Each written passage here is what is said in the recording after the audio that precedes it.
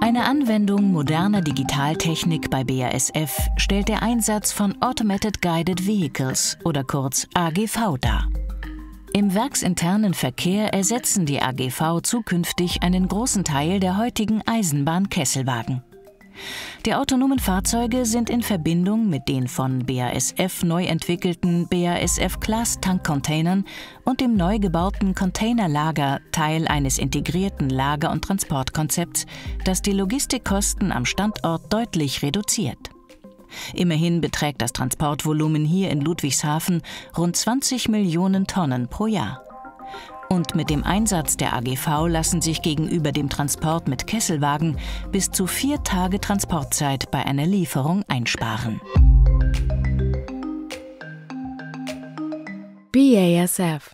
We create chemistry.